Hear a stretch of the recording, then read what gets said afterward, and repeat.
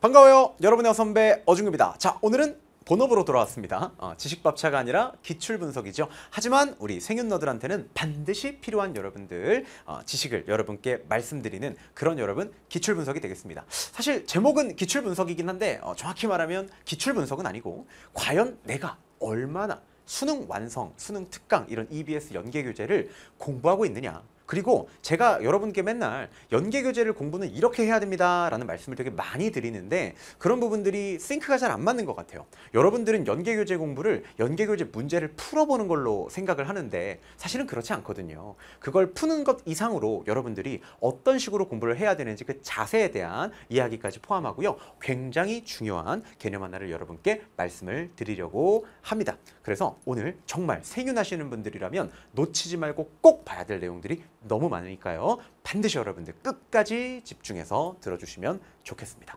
자, 제목은 이렇게 붙여봤습니다. 칸트, 자기의 생명 양도는 계약에 포함되지 않는다. 자, 요 문장을 여러분 생년들 딱 읽었을 때 요거 맞다고 생각이 드는지 틀리다고 생각이 드는지 지금 한번 판단해 보십시오. 마음속으로 OX를 정하셨다면 이제 저랑 같이 이 문장이 맞는지 우리 틀린지 그거에 대해서 한번 판단하러 떠나보도록 하겠습니다. 어, 근데 그 전에 여러분들 좋은 소식이 있습니다. 어떤 소식이냐면 제가 옛날에 루소와 관련된 캐스트를 하나 올리면서 저의 루소와 관련된 캐스트의 입장을 말씀을 드렸는데 여러분들이 그 캐스트를 보면서 아 선생님 정말 열심히 준비하셔가지고 강의하시는구나 이런 얘기도 많이 해주셨는데 많은 이제 질문 중에서 가장 이제 제가 좀 마음이 아팠던 게 뭐냐면 그 제가 해설한 부분과 이 모사에서 이제 어, 만든 그 해설지에 나와 있는 부분이 조금 다르다라는 부분을 많은 부분들 많은 분들이 좀 걱정을 해주셨어요. 그래서 어, 이렇게 말이 좀 다르니까 불안한 것 같아요. 이렇게 많이들 이야기를 해주셨는데 정말 좋은 소식이죠. 다행히 그 해설지가 여러분 수정이 되었다라는 소식이 도착을 했습니다. 아마 3주 전 정도인가요? 제 질문 게시판에 어떤 분이 아우 고마워요 진짜로 아니었으면 난 진짜 몰랐을 뻔했어요. 이 자리에 만약에 그 친구가 이걸 보고 있다면 정말 정말 고맙다라는 말을 어, 드리고 싶습니다. 그래서 질문이 딱 올라온 거예요. 선생님 거기 해설지가 변경이 됐대요. 이래가지고 제가 진짜 들어가 보니까 진짜 변경이 됐더라고요. 제가 근데 사실 기대를 안 한 건 아니에요. 약간 제 마음속에 기대를 갖고 있었어요. 왜냐면 개인적으로 제가 생각했을 때 제가 맞는 말을 하고 있는 거니까요. 그래서 저는 어떻게 생각을 했냐면 제가 캐스트를 이제 찍고 나서 일주일이나 이주일 정도는 제가 이 cross check를 했어요. 혹시 바뀐 게 있는지. 근데 안 바뀌었더라고. 그래서 내가 그래 뭐 그럴 수 있지. 원래 이 뭔가를 바꾼다라는 게 사실 쉬운 건 아니잖아요. 이미 나갔던 거를 바꾸고 번복하고 쉬운 일이 아니고 많은 용기가 이제 필요한 일이니까 뭐 그럴 수 있지라고 저는 생각을 했습니다. 그런데 오, 그 친구 질문을 딱 받고 나서 들어가 보니까 제가 아침에 눈 비비면서 그 질문을 봤는데 오 뭐야 진짜로 바뀌어 있는 거예요. 원래 뭐라고 써 있었냐? 루스와 베카리아 모두 사회 전체를 대표하는 입법자만 형벌권이 있다고 보았다. 이렇게 써져 있었던 게 이제 바뀌어가지고 베카리아는 사회 전체를 대표하는 입법자만 형벌권이 있다고 보았다. 루소와 관련된 내용이 빠졌습니다.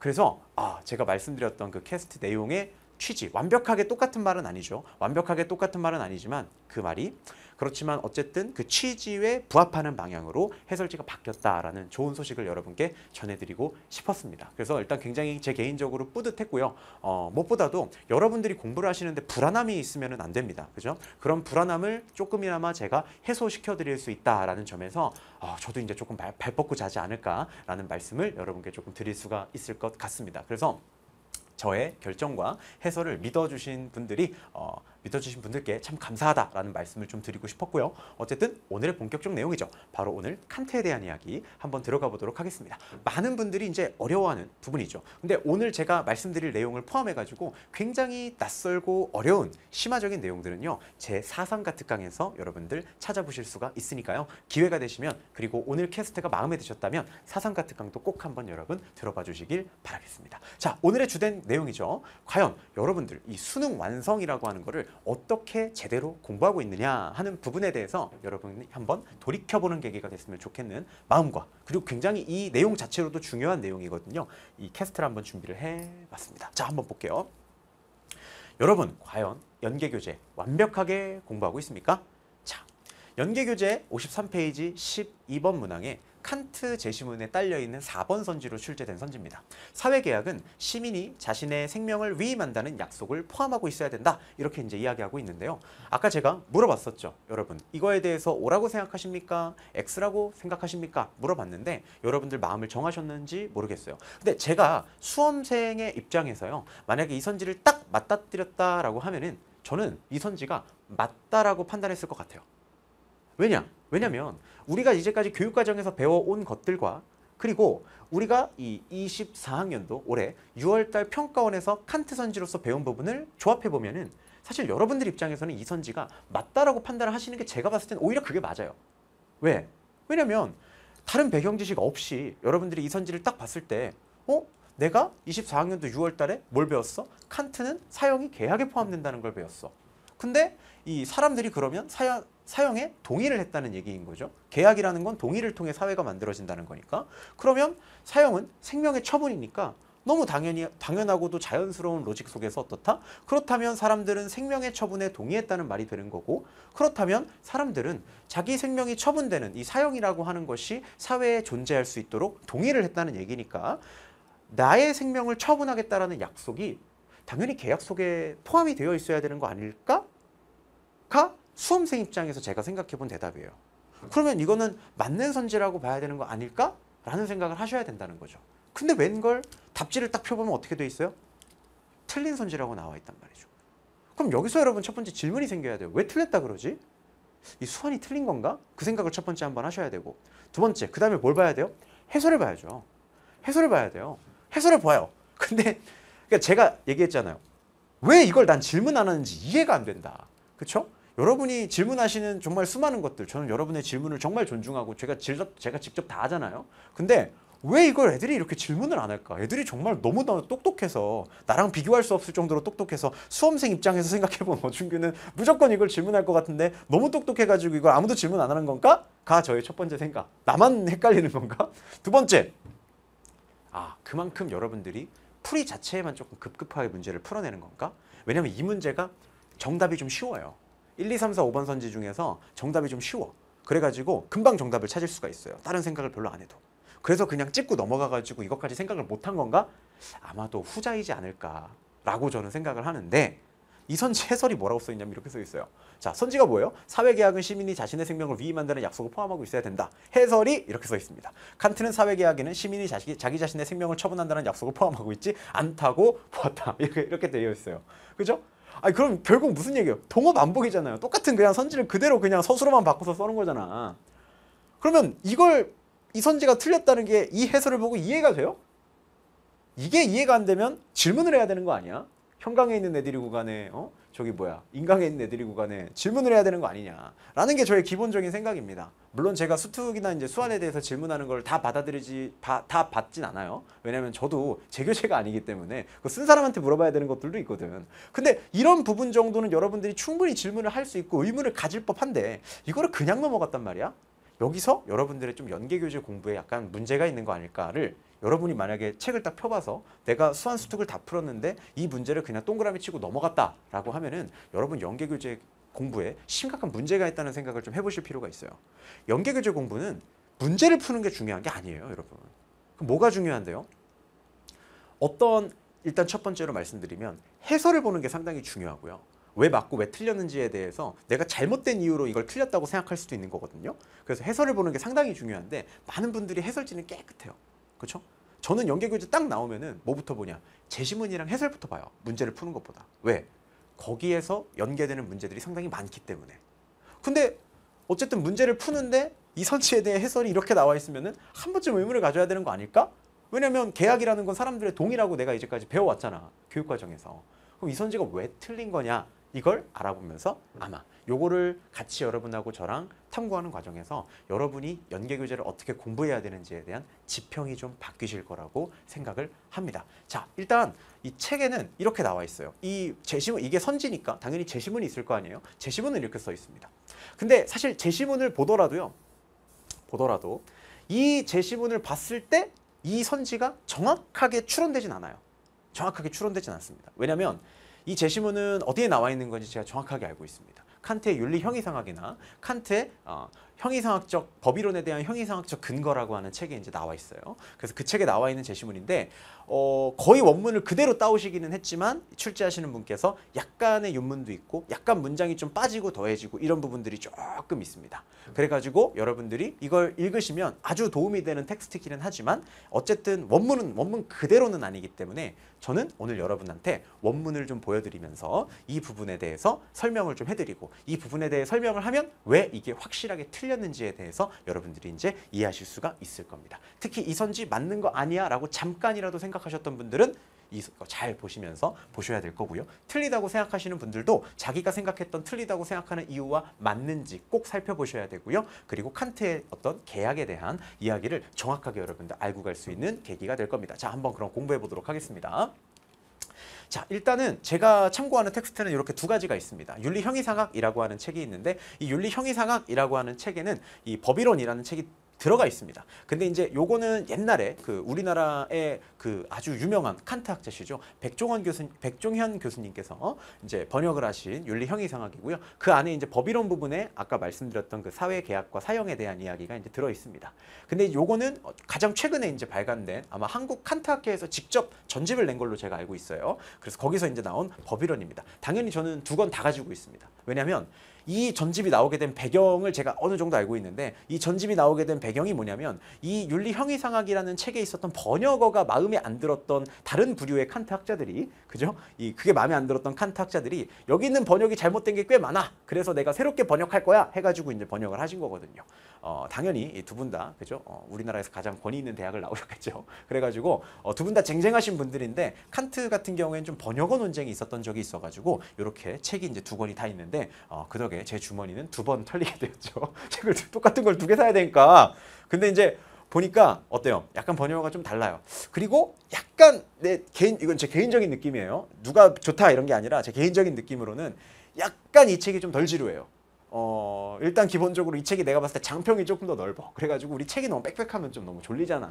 그죠? 이 책은 읽을 때마다 맨날 졸렸는데 이 책은 조금 덜 그런 것 같다. 그래서 번역이 더 잘, 아, 잘 됐다고 누가 잘 됐다고 얘기하는 건 아니지만 조금 더 어, 독자 편의적으로 되어 있지 않느냐라는 생각을 제가 개인적으로 해봅니다. 내용은 똑같습니다. 내용은 똑같은데 제가 이따 번역의 차이도 좀 보여드릴 거예요. 근데 이제 어쨌든 내용은 똑같아요. 자, 아까 우리 그 수능 완성에 실렸던 부분을 여러분들 한번 텍스트로 한번 해제해 보도록 하겠습니다. 자, 일단은 첫 번째 번역본입니다. 이게 조금 더 옛날에 나온 책이에요.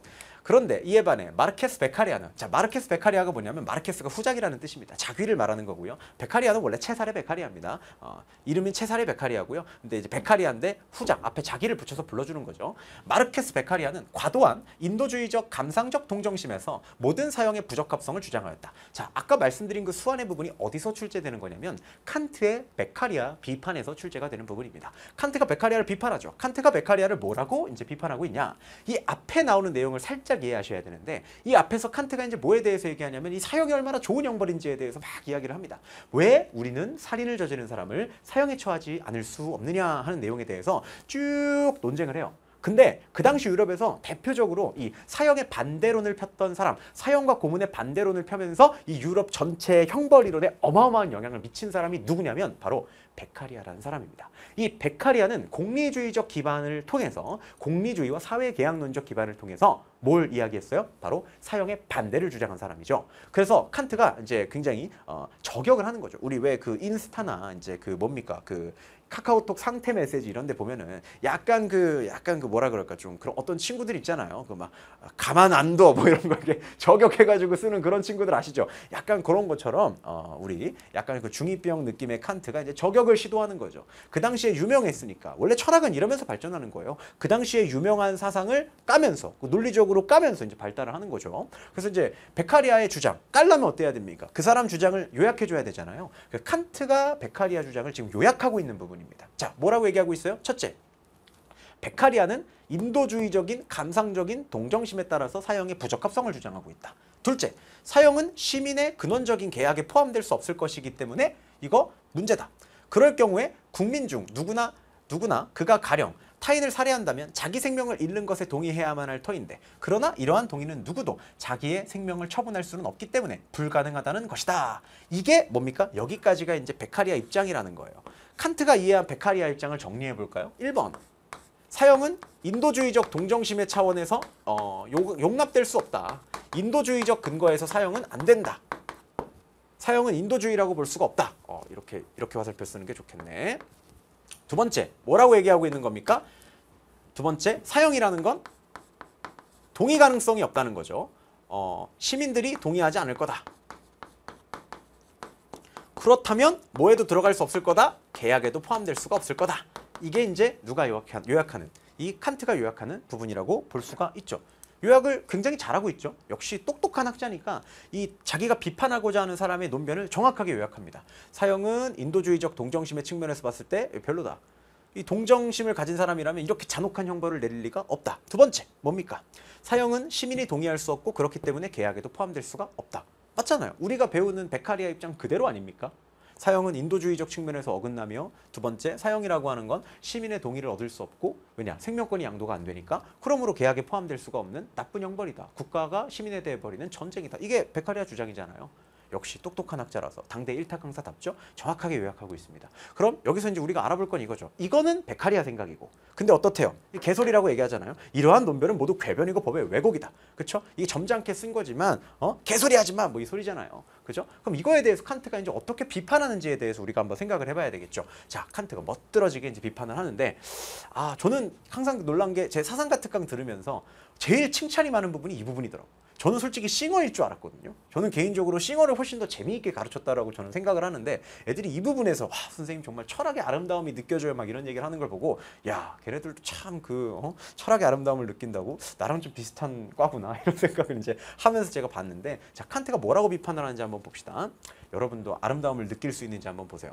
만약 내가 누군가를 살해한다면 나는 형벌받기를 의혹한다고 말하면 나는 여타의 모든 이들과 함께 국민 중에 범죄자가 있으면 자연스럽게 형벌률이 될 법칙들에 복종한다는 것 이상을 의미하지 않는다. 형벌 형법률을 구술하는 공동입법자로서 나는 신민으로서 그 법률에 따라 처벌받는 자와 동일한 인격일 수는 없다. 자, 여기 노란색으로 친 문장이 제일 중요한데 요거는 시험에 나올 가능성이 매우 큽니다. 자, 첫 번째죠. 공동입법자, 법을 만드는 사람으로서의 나는 입법자로서의 나는 뭐가 아니다? 신민. 신민은 subject. 그러니까 신민이라는 거는 어떤 법을 지키는 사람, 그러니까 수동적 존재로서의 국민을 말할 때 보통 신민이라는 말을 사용하거든요. 자, 신민으로서 그 법률에 따라 처벌을 받는 자, 즉 공동 입법자와 처벌받는 자는 동일할 수가 없어. 라고 여러분들 이야기하고 있는 겁니다. 아니 이게 무슨 개소리죠 선생님? 이 뒤에 나오는 문장도 사실상 똑같은 문장인데 보세요. 무릇 그러한 자로서 곧 범죄자로서의 내가 입법에서 표를 가질 수는 없다. 범죄자는 법을 만들 때 이걸 동의하거나 결정할 수 있는 권한이 없대요. 이게 칸트 생각인 거죠. 어, 선생님 이 말이 무슨 말이에요? 굉장히 좀 이상한 것 같아요. 이상한 말이 맞아요. 왜냐면 현실적인 논변은 아니야. 현실적인 논변이 아니라 다변이 철학적인 논변이죠. 근데 이게 현실적이지 않냐 아니냐는 별로 중요하지 않아요. 왜? 애초에 사회 계약론 자체가 현실적이지가 않습니다. 그냥 사회 계약에 대한 이념을 이야기하는 가상적인 상황에서의 가상적인 여러분 이론일 뿐인 거지 그 자체가 여러분 현실 속인 어떤 역사적 사실에 기초하고 있는 이론은 아니에요. 그냥 논변인 거죠. 자, 이게 무슨 소리입니까? 이게 왜 비판입니까? 자, 이제부터 이야기를 해볼게요. 베카리아는 이렇게 이야기를 했어요. 사형을 받을 것이다 라고 어떤 사람이 동의를 하려면 자기 목숨을 이 사회에다가 내놔야 된다라고 베카리아는 주장을 합니다. 그런데 자기 목숨을 이 사회에다가 내놓을 것이다 라고 주장하는 사람은 이 세상에 어떻다는 거예요? 없다는 거예요. 왜? 사형은 사형, 사형을 동의하기 위해서 생명권의 양도가 이루어져야 되는데 첫째, 사회에 들어가기 위해서 자신의 생명을 사회에다가 양도하겠다라고 이야기할 만한 사람은 존재하지 않기 때문이라는 거죠. 즉 베카리아의 주된 논변은 이거죠. 사용이 되려면 동의가 있어야 되는데 아무도 생명권 양도에 동의하지 않을 것이니까 그러한 계약은 있을 수 없다. 라고 주장을 하는 건데 여기서 칸트는 이렇게 비판하는 거예요. 야, 그 말이 되냐? 왜요, 선생님? 말 되는 것 같은데? 칸트가 말하죠. 그렇게 따지면 이 세상에 범죄자가 처벌을 받겠다라고 동의하는 사람이 어딨냐는 거야. 그렇죠? 여러분 한번 생각해 볼게요. 이거는 좀 약간 비약적인 얘기일 수 있지만 우리 피디님한테도 한번 여쭤봅시다. 우리 피디님 연쇄 살인마 사형해야 된다. 혹은 무기징역에 처해야 된다. 동의하세요? 안 동의하세요? 우리 피디님 동의하신대요. 여러분 동의하세요? 안 동의하세요? 동의하죠. 그렇죠? 근데 두 번째 한번 생각해 볼게요. 자, 무단횡단 하는 사람 징역 20년에 처해야 된다. 동의하세요? 안 동의하세요? 안 동의하시죠? 왠 줄 아세요? 이유는 간단해요. 우리 PD는 연쇄살인 할 거예요? 안 할 거예요? 안 할 거죠. 근데 무단횡단은 할 거예요? 안 할 거예요? 가끔 하잖아요. 그죠? 그래서 그런 거예요. 이해되세요? 간단하잖아요. 이게 칸트 논변이에요. 우리는 우리가 범죄를 저지를 거라는 가능성이 없기 때문에 내가 설마 연쇄살인을 하겠어? 그치, 그렇게 생각하잖아요. 그러니까 연쇄살인마에 대해서 강력하게 처벌하자라고 주장하는 게 말이 되지만 어떻대요? 예를 들어서 무단횡단 같이 우리가 일상생활에서 자주 저지르는 범죄를 생각하면 어떻습니까? 그런 거에 대해서 강력하게 처벌하자 그러면 은 100% 강한 저항이 잇따를 거예요. 여러분 한번 생각해 볼까요? 불법 주차도 마찬가지예요. 불법 주차 같은 것도 강력하게 처벌하자. 여러분 어때요? 아마 여러분 동의하실 거예요. 저도 동의하거든요. 근데 생업 때문에 어쩔 수 없이 불법 주차를 하는 사람도 사회에 되게 많잖아요. 뭐 그게 옳다 그르다를 떠나서 생각해 보세요. 편의점 앞에서 물건 내리는 차량, 그 주차장에 주차하고 물건 내리는 거 본 적 있어요? 난 진짜 한 번도 없어요. 오케이? 얼마나 많은 이 불법 주차들이 있어요. 근데 그런 분들이 생계를 위해 불법 주차를 하잖아요. 그런 분들한테 우리가 계약을 한다고 생각해 보세요. 이제부터 불법 주차하면 사형 때립시다. 동의하겠어요? 그럼 이 세상에 택배 기사랑 물류센터 자동차는 나만 하는 사람이 없어요. 맨날 맨날 구인 광고할 거야. 어제 한 명 있었는데 오늘도 사형 당했어요. 뭐 그럴 거란 말이야. 말이 되냐고 그게 말이 안 되잖아요. 칸트가 말하는 건 이거예요. 이런 식으로 따지면 법을 제정할 수가 없다는 거예요. 자기가 범죄를 저지를 가능성이 1말이라도 있는 사람들이 참여해서 법을 만든다면은 어떠한 법과 어떠한 처벌에 사람들이 동의를 하겠냐는 거예요. 그럼 입법이 불가능하다는 거죠. 이렇게 하면. 그래서 칸트는 이 베카리아가 생각하는 입법 자체를 좀 잘못된 거라고 비판해요. 베카리아는 범죄를 저지를지도 모르는 범죄 가능성이 있는 사람들이 입법을 할 수 있다라고 생각을 하지만 자기가 생각했을 때는 그럴 수가 없다는 거예요. 그게 이 노란색 문장이에요. 형법률을 구술하는 공동 입법자, 법을 만드는 사람하고 둘째, 그 법에 대해서 처벌을 받는 사람이 같은 사람이면 안 된다는 거죠. 왜? 만약에 처벌을 받는 사람이 직접 벌을 제정한다면 그 사람은 법을 가볍게 제정하겠어요? 크게 제정하겠어요? 가볍게 제정하거나 처벌을 받지 않으려고 노력하겠죠. 그렇지 않습니까? 그렇기 때문에 이렇게 법이 제정되게 되면 이 세상에 어떠한 법도 제대로 굴러갈 수가 없다는 거예요. 즉 범죄자는 입법에서 표를 가지면은 안 된다는 거죠. 그래서 어떤 표현이 나와요? 입법자는 신성하다라는 표현이 나와요. 즉 입법자는 뭐가 없다는 거예요? 무릇 범죄를 저지를 가능성이 없는 사람들이 입법을 해야 된다는 거죠.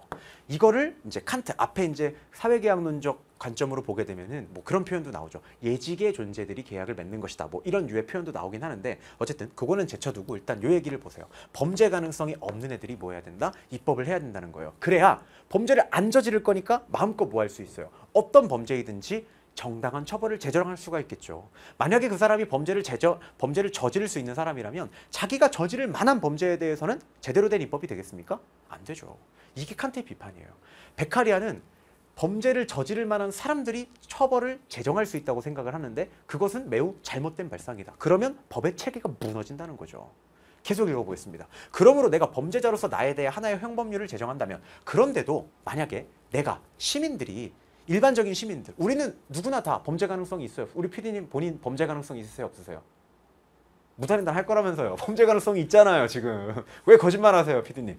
저도 범죄 가능성이 있어요. 그죠? 저도 무단횡단 가끔 해요. 대치동에서 이렇게 가끔 옛날 깜짝 놀랐잖아요 옛날에 무단횡단 딱 한 번 했는데 거기 뚜레쥬르랑 거기 파리바게트 앞에서 한 번 무단횡단 했는데 그죠? 그걸 가지고 질문 게시판에 선생님 무단횡단 하셨나요? 깜짝 놀랐습니다. 그래서 이제 무단횡단 잘 안 하고 살려고 열심히 노력하고 있습니다 여러분. 죄송해요. 큰 범죄는 아닐 수 있지만 우리는 우리 모두가 다 어때요? 이성만 가지고 도덕적으로만 행위하는 게 아니라 욕구를 같이 가지고 있고 경향성을 같이 가지고 있는 나약한 존재죠 인간은. 그렇기 때문에 법칙도 의무로서 부과되잖아요. 그래서 우리는 어떻습니까? 우리는 어느 정도 범죄 가능성이 있다고 봐야죠. 쉽게 생각하면. 그러면 이런 우리가 입법을 할 수가 있느냐? 칸트가 말하죠. 근데 이런 우리가 만약에 입법을 한다라고 가정을 한다면 어때야 된다? 밑줄 칩시다. 내 안에 어, 밑줄 칠 게 없겠구나 여러분. 사상가 특강을 들으시면 밑줄 칠 게 있어요. 내 안에 순수한 법적으로 입법하는 이성, 즉 뭐가 형법률을 제정한다는 거예요? 욕구를 가진 내가 제정하는 게 아니라 이성으로서의 내가 내 안에 있는 이성이 내 안에 있는 이성이 정하는 거라는 거죠. 근데 욕구와 다르게 나 자체는 욕구와 이성의 결합체지만 이성만 놓고 보면 이성적으로 생각하면 우리 PD는 이성적으로 생각하면 무단횡단 해야 돼요 안 해야 돼요? 안 해야죠. 길거리에 침 뱉어야 돼요 안 뱉어야 돼요? 그리고 수많은 흡연자분들 어? 이성적으로 생각하면 솔직히 담배꽁초 길에다 버리면 돼요 안 돼요? 안 되잖아요 솔직히. 그죠? 근데 내가 담배꽁초 집에 가져가는 사람 한 번도 못 봤단 말이야. 그죠? 한 번도 못 봤어요. 그러면 그런 사람들이 법을 제정하면 어떻습니까? 담배꽁초 땅에 버리면 이거 어, 벌금 100만 원 냅시다. 동의하겠어요? 동의 안 하잖아요. 그죠? 그러니까 이런 법은 제정이 안 된다는 거예요. 이건 말이 안 된다는 거예요. 그렇기 때문에 만약에 범죄자로서의 내가 형법률을 제정한다고 하면은 그거는 어떻게 받아들여야 되는 거냐? 그 사람이 범죄를 저지를 수 있는 사람으로서 입법에 참여한다는 게 아니라 뭐 그 사람 안에 있는 이성이 어때야 된다? 입법에 참여하는 거다. 이렇게 이해를 하는 게 맞다라는 게 칸트 주장이에요. 베카리아가 생각하는 입법의 개념을 지금 비판하고 있는 거죠.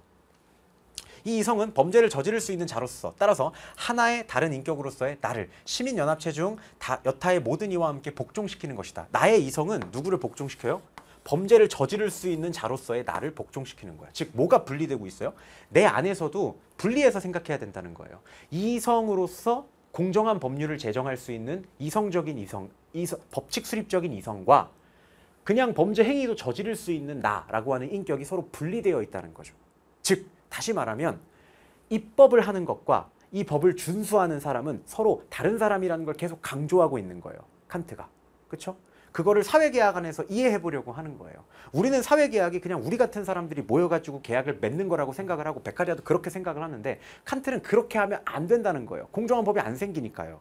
그래서 칸트가 뭐라고 이야기를 하냐 이렇게 얘기하는 거예요. 바꿔 말하자면 국민의 각 개인이 아니라 법정 즉 공적 정의 그러니까 범죄자와는 다른 자가 사형을 구술하는 것이다. 즉 사형은 누가 구술하는 거예요? 국가가 공적 정의가 공적 정의가 사형을 명하는 거예요. 그럼 누가 따르는 거예요?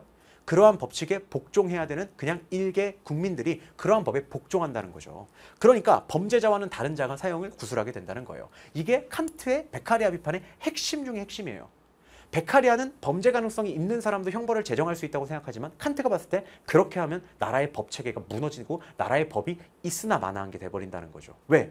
담배 피는 사람들은 담배꽁초 땅에 버리면 천만 원 동의하지 않을 거잖아요. 그렇죠? 무단횡단 열심히 하시는 분들은 어때요? 무단횡단하면 사형 통해하지 않을 거잖아요. 생계를 위해서 어? 편의점에다가 물건 나르고 하시는 분들 불법 주차 어? 벌금 천만 원 사형 통해하지 않으실 거잖아요. 그죠? 이렇게 법을 제정하면 법이 법이 아니게 된다는 거예요. 정의롭지 못하게 된다는 거예요. 그래서 어떻게 해야 된다? 법은 누가 정하는 거냐? 이성이 정해야 된다는 거죠. 이성이. 이성에 따라서 법이 정해져야 되고 그러한 이성은 당연히 범죄 가능성이 없는 그런 존재로서 그런 하나의 인격으로서 범죄 가능성이 있는 실제적인 나의 인격과 다른 인격으로서 법을 제정해야 된다는 거예요. 그래서 칸트가 뭐라고 얘기하냐? 이 문장이 그래서 굉장히 역설적인데 이게 아까 제가 말씀드린 그 부분에 출제된 문장이죠. 사회계약 안에는 형벌을 받을 수 있고 그래서 자기 자신과 자기 생명을 처분한다는 약속이 포함되어 있지 않다. 이게 되게 모순돼 보여요. 겉보기에는. 왜? 아니 사회계약에 사형이 포함된다면 자기 자신에 대한 생명의 처분이 포함돼야 되는 거 아닙니까? 아니죠. 왜? 바로 이 말 때문이죠. 자기 자신과 자기 생명을 처분한다는 약속 때문이죠. 이것 때문에 포함되지 않는 거예요. 왜냐? 아까 얘기했죠? 우리 PD님. 그럼 입법, 법을 만드는 사람은 제대로 이해하셨는지 한번 볼게요. 법을 만드는 사람은 어때요? 범죄 가능성이 있어야 된다는 거예요? 없어야 된다는 거예요? 범죄 가능성이 없는 신성한 입법자가 법을 만들어야 된다는 거죠. 자, 우리 PD님 이해하셨습니다. 자, 그러면 그 범죄 가능성이 없는 애들은 계약을 할 때 자기 자신의 생명을 처분하겠다고 계약을 할 필요가 있을까요? 없을까요? 없죠. 왜? 범죄를 안 저지르면 생명이 처분될 필요가 있어요? 없어요? 없죠. 가장 공정하고 가장 이성만 있고 이런 애들이 그죠? 혹은 내 안에 법칙 수립적 이성이 계약을 맺으면 나는 범죄 가능성이 있어요? 없어요? 없죠. 그러니까 내가 내 생명을 처분한다고 약속할 필요가 있어요? 없어요? 없죠. 그래서 포함되지 않는다는 거예요. 자기 자신의 생명을 처분한다는 약속이 포함되어 있다. 혹은 자기 자신의 생명을 처분한다는 약속과 관련해 가지고 사형 제도를 비판하는 것은 뭐라는 거예요? 그건 범죄 가능성이 있는 애들이 계약을 한다는 전제가 있기 때문에 그런 거야.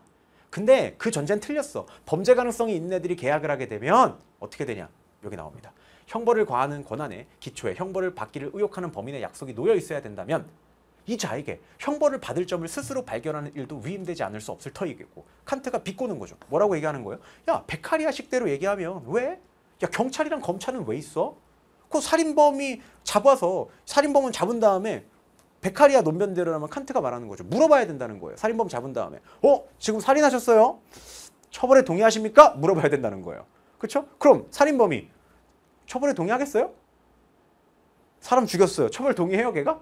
아, 아, 안 돼요. 저는 사람 더 죽이러 가야 된단 말이에요. 어떻게 제가 감옥에 가... 그럴 거 아니에요. 그럼 어때요? 동의 안 했잖아요. 그럼 처벌할 수 있어요, 없어요?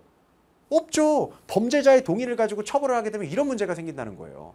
범죄자는 처벌에 동의할 리가 없는데, 어? 혹은 범죄 가능성이 있는 애들은 처벌에 동의할 리가 없는데, 걔네한테 직접 처벌받을 거냐고 물어보면 이게 법이 되냐는 거예요. 그럴 거면 뭐 하라는 거예요? 검찰, 경찰도 없애라는 거예요. 왜? 이제부터 그냥 자수하게 만들자 이 얘기잖아요. 뭐래요?